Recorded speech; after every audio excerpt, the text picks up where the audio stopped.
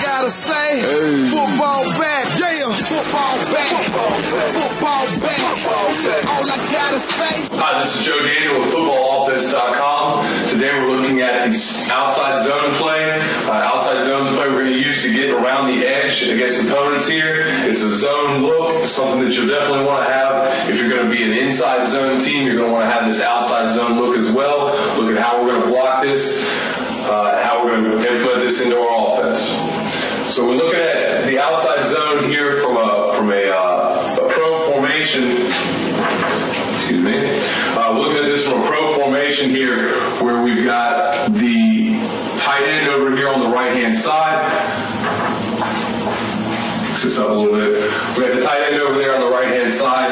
Um, we can have any sort of formation that we want to the backside, whether we want to get numbers over here, how we want to work it. Looking at the 3-5-3 defense, where we've got the three down linemen who are going to be slanting on the snap. We're going to have stunting backers that we're going to need to pick up. Probably a cover three or a cover one look in the secondary. Our back is going to be taking this outside zone path. Quarterback's going to take the ball. He's going to give it to this guy right here, the tailback, taking this outside zone path, getting width. He's turning his shoulders, getting upfield and looking to find the seam. We want this run to go outside, but if it doesn't, we've got a number of options that we can use here. First thing we've got up front, this is a zone blocking concept.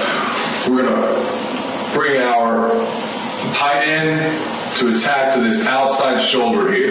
We want to get him to the outside shoulder. If we want extra bodies over here, we can motion him over. Snap, he could be attacking the outside shoulder, getting to whatever we need to get to, how we need to get a numbers advantage out here. We're going to come off hard, stop block this corner, get him taken care of outside. We got to have active receivers who are really going to work hard to get in the way of those cornerbacks.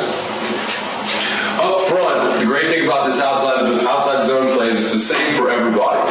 So if you're going to use this in an inside zone, your offensive lineman will know literally every position on the offensive line if they know these two plays. So we're going to work these two on these two as best we can. Really, in the zone, it's going to get a little bit different on the stretch play, but we're going to hit this guy through his inside number, run through the inside number of that defensive end. In the 3-5-3, we know we've got slanters, so this thing's going to clear up really fast for us. It may not clear up as fast as an even front. If he slants outside and he stays on us as we try to attack that outside number, and we're not able to rip off of him and go up to the next level, we'll stay with it. Backside, we've got a cover, uncovered step, attacking to his shoulder. We're trying to overtake to his play side number.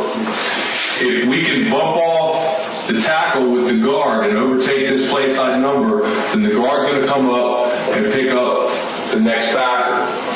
With the speed that the backers are going at, it may end up actually being this backer coming over and this one being picked up by somebody else out here. It just depends on how fast they're going to flow with it.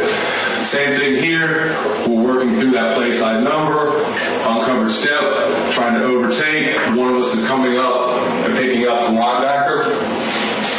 And on the backside, uncovered step, and working up, trying to get to the next guy there. We don't really have to worry about him. He's not going to be our problem. So we're just going to rip through his face, make sure that he doesn't penetrate here, and then we're going to try to work up to this will linebacker. Backside backer is not a concern. We want to handle the frontside backer, who's our box player, by getting to his outside shoulder. If we get to his outside shoulder, then we're going to have room to run on the outside. If these guys are slanted and they're slanting hard, and we're able to handle a couple of them, we get fast moving here. We also have cutback lanes that are going to open up throughout the play. If this guy really widens hard, and we get the hook here, the lane may be inside more. It will sometimes hit that this will really flow hard outside, really flow hard outside, and the cutback's going to happen even all the way back to A gap. We will sometimes cut on the backside just so that these guys aren't any issue. We may cut a nose or one technique so that if this cutback opens up, we can get through it. That's just another option we can use uh, in order to, to make the inside zone or the outside zone even more effective for us. You can expand off of this play, do any number of things. Um, you can bring this guy, this extra blocker, from anywhere, whether you want to work him from a split back look or you want to line him up in a tray formation out here. There's a number of things that you can do as a wing. There's a number of things you can do to get numbers and get a numbers advantage. You can also do a few things in order to make this more of like your zone read play, as you could read out of the nose guard, uh, knowing that you should be getting this fast flow by the backers. Your quarterback could be reading for some fast flow out of here, getting through the number here, and if we get that nose really coming hard, the quarterback can keep and come off the backside of these slanting backers or off these flowing backers. So you've got another option there if you want to add a read element into this play. Also, you can work a number of play action passes off of this, taking advantage of the fact that these backers are really going to be flying out of there. Outside zone is a fantastic play, simple to install, one that if you get it going, it can be really, really good for your football team. I hope you'll stop by and take a look at all that we have to offer there. Uh, we have uh, sign up for our free newsletter there, and we're going to be able to get you tons of information as the site grows, be able to get you more offensive information, or more offensive plays, so that you can score points down the road and really build a dominant offense there.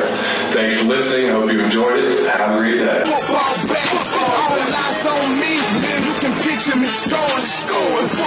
back, catch me running and throwing.